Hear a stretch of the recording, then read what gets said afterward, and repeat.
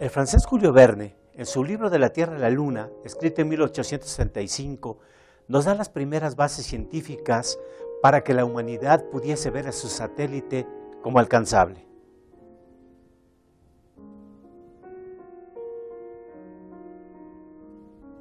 No obstante la revolucionaria idea, en el mismo texto podemos apreciar la abundante información que para la época ya existía de la Luna, a la que se le llamaba Selene, diosa griega de la luna, hermana de Helios, dios del sol, según el poeta Hesiodo, hija de los titanes Hiperión, dios de la observación, y Tea, diosa de la vista. Verne nos reseña mapas selenográficos donde se proporcionan alturas de las montañas, descripciones de las llanuras y hasta medidas de los cráteres. Cada paisaje lunar con sus respectivos componentes tienen nombres que se han conservado a la fecha. Este viaje que él hace a la luna en su novela, porque finalmente el autor es quien hace el viaje, está perfectamente documentado. Él conocía muy bien las obras de divulgación que se escribían de astronomía cuando él vivía y también de los profesionales y se nota muchísimo en muchas cosas desde la posibilidad de habitantes en la Luna, porque podía haber aire ahí, podían volar, por ejemplo, porque la gravedad superficial era menor que en la terrestre, y la posibilidad de mandar satélites a la Luna, y si se moría el perro y lo ponía uno en el espacio, los dos iban a ir avanzando por el espacio juntos, indican que él entendía muy bien la ciencia de su época y además le hizo un favor a la astronomía porque gracias a él los jóvenes de sus tiempos y los de ahora les llama la atención esto de los satélites artificiales y de poder viajar a otros mundos, posiblemente habitados. Esta obra literaria, que al inicio de su lectura únicamente se haya motivada por el afán de invasión, poco a poco se irá convirtiendo en la más grande profecía de los viajes espaciales.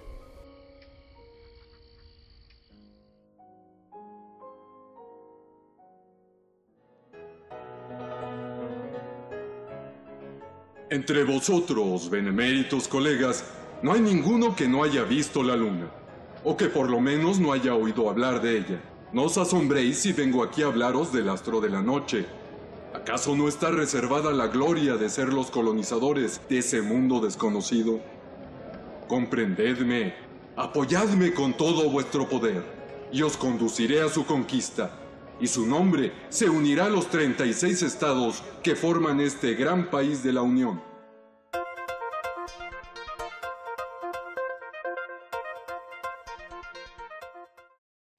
El discurso lo realizaba el presidente del GON Club, Club del Cañón, organización integrada por constructores de armas que al haberse acabado la guerra de secesión se aburría. Está reservado al genio práctico de los norteamericanos ponerse en relación con el mundo sideral. El medio para llegar a tan importante resultado es sencillo, fácil, seguro, infalible. He examinado la cuestión en todos sus aspectos la he abordado y resueltamente. De mis cálculos indiscutibles, resulta que todo proyectil dotado de una velocidad de 12.000 yardas por segundo y dirigido hacia la Luna llegará necesariamente a ella. El discurso del presidente Ampey Barbicane rápidamente llenó de entusiasmo a los integrantes del Gon Club y a todos los ciudadanos del país, quienes con decidido empeño se prepararon para la proeza. En la nave espacial irían tres pasajeros, el presidente Barbicane, el capitán Nicole y un francés de nombre Miguel Ardán. La nave proyectil partiría del estado de la Florida en el paralelo 28 grados. Hoy en día el Centro Espacial Kennedy de la NASA se ubica en Cabo Cañaveral, coordenadas 28 grados norte, 80 grados oeste Florida. La nave de Verne tendría casi las medidas del Apolo 8.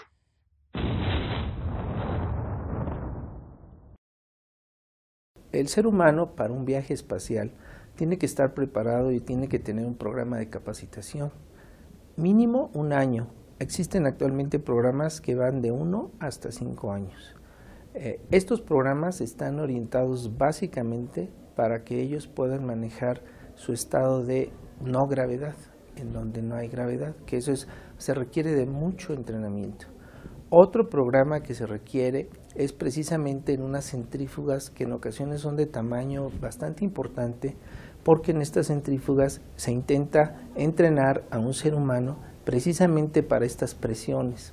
Existen fenómenos de aceleración muy importantes, así como de desaceleración. Por lo tanto, el organismo tiene que estar preparado para estos dos eventos tan importantes, que es el manejo de la no gravedad y estos cambios de presión tan importantes que surten en el, cuerpo humano. Si el ser humano no está entrenado, obviamente no lo va a poder resistir.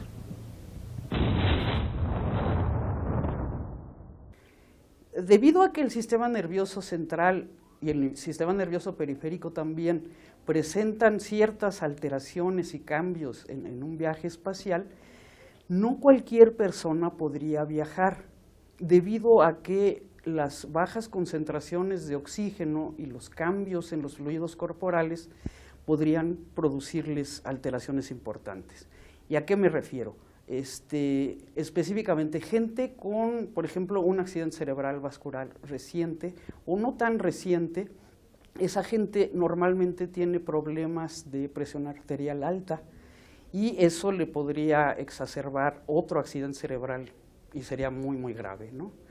Una persona, por ejemplo, con problemas de epilepsia tampoco podría viajar porque las eh, demandas de oxígeno al cerebro son muy importantes, la falta de sueño, cualquiera de esos aspectos podría desencadenar una crisis epiléptica y poner muy mal a la persona. Entonces se ha tratado desde hace varios años, es toda una ciencia pues de la neurociencia espacial, de adaptar al, ser humano y al organismo a estas condiciones.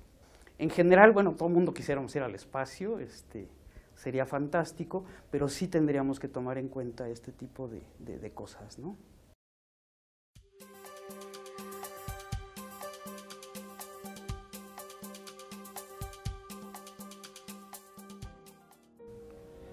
Para los protagonistas de la novela, así como para los lectores de la época, flotaban en el aire las preguntas. ¿Había vida en la luna? Y si había, ¿cómo eran los selenitas? Dudas que para el caso de nuestro satélite han sido superadas. 104 años después de la visión futurista de Verne, el 20 de julio de 1969, un norteamericano, Neil Armstrong, pisó la luna no saliendo ningún selenita a recibirlo. A lo anterior hay que sumarle que en este momento de la historia terrestre tampoco se ha encontrado indicios de vida similar a la nuestra en los planetas o lunas que conforman nuestro sistema solar. Los estudios de las ondas espaciales en la actualidad ya casi suman dos docenas explorando el cosmos, como el Voyager 1, lanzado por la NASA en 1977, que después de 36 años ha rebasado la órbita de Plutón y se ha adentrado en el espacio interestelar no encontrando nada que se parezca a nosotros. Ha habido muchas ondas particularmente importantes. Una es el telescopio espacial. Gracias a este instrumento, entre otras cosas, los astrónomos mexicanos pudieron tomar imágenes del espacio. Hubo miles de, y miles de propuestas para usar este instrumento que estaba destinado a la cosmología, al universo a gran escala. Pero resulta que era miope, era como yo, necesitaba lentes. Y mientras lo, le pusieron sus lentes y le repararon otras varias anomalías que tenía, los proyectos de segunda y tercera categoría se llevaron a cabo. Se utilizó para estudiar el sistema solar y para muchos proyectos de conocer el medio interestelar, medir las abundancias químicas, que es a lo que se dedican los astrónomos mexicanos de los más famosos que tenemos. Así es que esto le dio un empuje y un vigor todavía más grande a la astronomía mexicana. Otro telescopio muy importante fue el telescopio ultravioleta, donde también destacados investigadores mexicanos aportaron estudios al medio interestelar. De hecho, la doctora Silvia Torres, que fue la primera en observar los núcleos de las nebulosas planetarias, es decir, de estrellas que fueron como el Sol, que se despojaron de su atmósfera y quedó el puro núcleo pelón rodeado de esta envolvente en expansión, fue la primera que utilizó estos telescopios para observar eso. Yo me acuerdo cuando llegaron las observaciones, nadie sabía, no teníamos idea de qué podía ser eso. Hay otro satélite que es el PLAN, que va a medir la abundancia de helio que hubo en el principio de la evolución del universo. Esto es muy importante porque las abundancias químicas de helio las ha medido el grupo de investigadores asociados a Manuel Peinbert. Y ahora va a estar en juego, gracias al telescopio Planck, su determinación de helio pregaláctico, que todo el mundo le apuesta que es la buena y seguramente va a lucir otra vez más, como siempre, la astronomía mexicana. El proyecto SETI, búsqueda de inteligencia extraterrestre, que lleva 50 años escuchando el espacio mediante ondas de radio, todavía no ha recibido señal alguna de alienígenas. El robot explorador Curiosity, que partió de la Tierra con rumbo a Marte y que después de volar 8 meses y 17 días, recorriendo 567 millones de kilómetros, descendió en suelo marciano, nos confirma que en el planeta rojo no hay vida que haya construido una civilización igual a la de la Tierra. Pero la astrobiología, disciplina que reúne geología, biología y astronomía, no descarta que en los planetas hasta ahora considerados sin vida pudieran existir entes extremófilos, microorganismos que viven en ambientes extremos.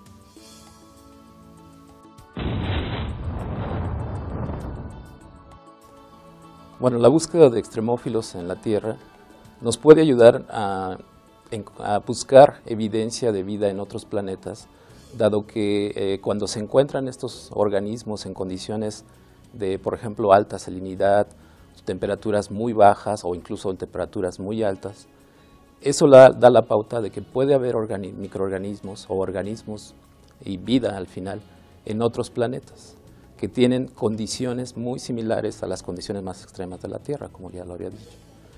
Entonces, a partir de eso, es de que se puede, eh, bueno, se, inician estos estudios para la búsqueda de estos organismos en condiciones eh, de altas, bueno, de alta salinidad, de alta temperatura o baja temperatura.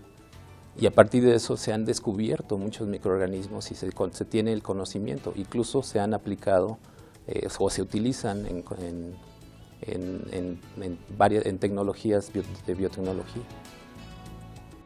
Los estudios de seres en la Tierra, como los que se desarrollan en temperaturas a más de 169 grados centígrados alrededor de fumarolas hidrotermales en el fondo de los océanos, los hipertermófilos, o en inmensas profundidades en el hielo, en las llamadas fosas abisales glaciares, los cicrotolerantes, o los anhidrobióticos, que viven con ausencia de agua, o los acidófilos, que habitan en el ácido sulfúrico puro o los halófilos, que se desarrollan en lugares donde las concentraciones de sal son tan altas que impiden la subsistencia a cualquier otro ser vivo, o las bacterias que no necesitan luz para sobrevivir, porque metabolizan compuestos de azufre, o los tardígrados, que se deshidratan para quedar como muertos durante cientos de años en condición de criptobiosis.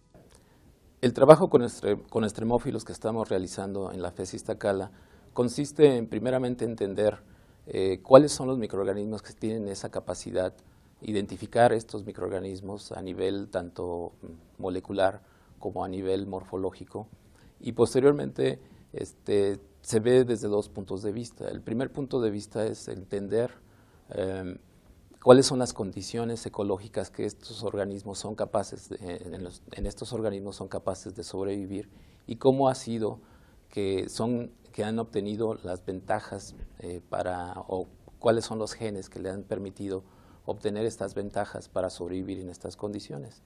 Y el segundo punto de vista es a partir de este conocimiento, tener un aprovechamiento a través de técnicas biotecnológicas de cuáles son de estos genes, una vez que son identificados, ver qué funciones le, confieren a estos microorganismos y posteriormente, de alguna forma, eh, bueno, de formas eh, biotecnológicas, transferir estos genes a otros organismos posible, que, tengan aplicaciones eh, en, tanto en industria como en agricultura. Eh, es decir, transferir los genes de resistencia, por ejemplo, o tolerancia a altas condiciones de sal, a, resistencia a bajas temperaturas o a altas temperaturas, a plantas que puedan entonces sobrevivir en, zonas desérticas, en, zonas con alta salinidad. Eh, esos son de las, digamos, los, puntos de vista que, se están manejando, pero también este conocimiento nos permitirá entender eh, cómo es que si de, encontrarse microorganismos en otros planetas, este, se podría entonces este, hacer un símil con lo que existe en la Tierra y entender este, cuál es, cómo es, el procedimiento, bueno, cómo han sobrevivido en estas condiciones.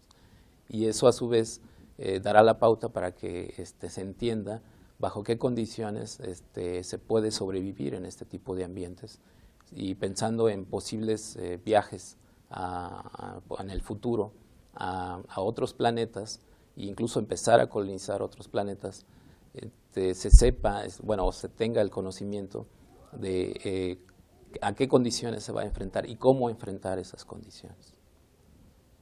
Después de la exploración a la Luna, nos quedó como evidencia que cuando hablamos de vida fuera de la Tierra, tenemos que separar la vida inteligente como la concebimos los humanos y de posibles existencias adaptadas a sus entornos.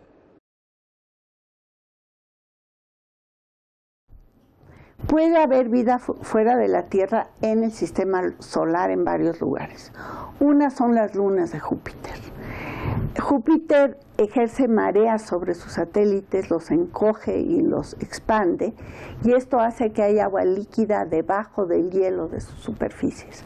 Ahí podría haber vida, vida semejante a la que hay en nuestras minas profundas o en el subsuelo marino, vida en base de azufre y de metano y no necesariamente de oxígeno. Podría haber vida en Marte, se puede haber filtrado hielo de la superficie al interior y estar fundido y esto podría generar agua. Y el, el, agua es un vehículo espléndido para intercambio de sustancias y para generar vida. Esos son los tres enfoques ahora en el sistema solar. Pero la moda, moda, pues viene en que se han descubierto miles de planetas extrasolares, miles. Casi todas las estrellas que ves en la noche tienen planetas.